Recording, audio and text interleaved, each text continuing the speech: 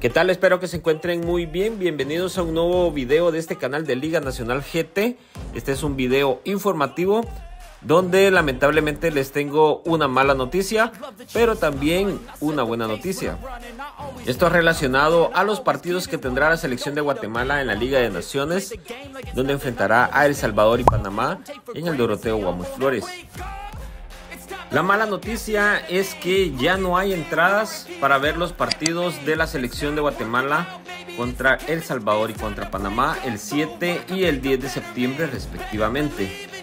Así lo ha hecho oficial la FedeFoot y también si entran a ver a la página web de Todo Ticket ya aparece que están agotadas las entradas. Así que si pensabas ir al estadio a ver los partidos, lamentablemente ni la FedeFoot ni en Todo Ticket hay entradas ya se agotaron y solo te queda una opción, la cual no recomiendo, que es comprar en la reventa, ya que sabemos que estas personas pueden elevar mucho los precios.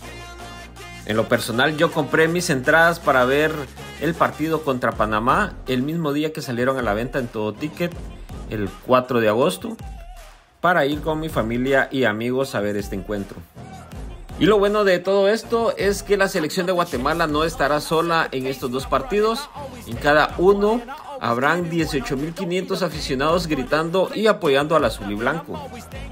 La excelente participación que tuvo la bicolor en la pasada Copa Oro hizo que en aproximadamente 15 días se agotaran todos los boletos para ir a ver los dos partidos de Liga Naciones que se jugará aquí en el país.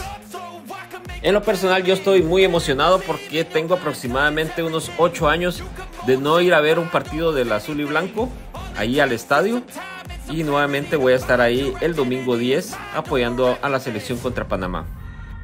Gracias por ver el video. Si la información te ha gustado, apóyame dejando un like y déjame en los comentarios si conseguiste tu entrada para ir a ver a la selección nacional de Guatemala.